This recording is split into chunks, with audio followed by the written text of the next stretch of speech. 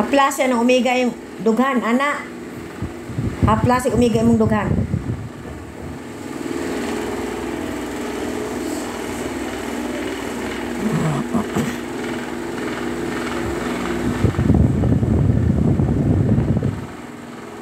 Ay sa pagkuhan sa ero.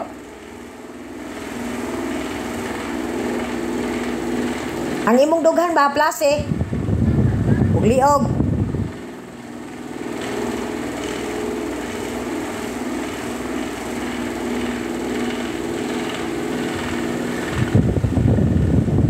Ibot og balahibo ni Amber na ipamalina.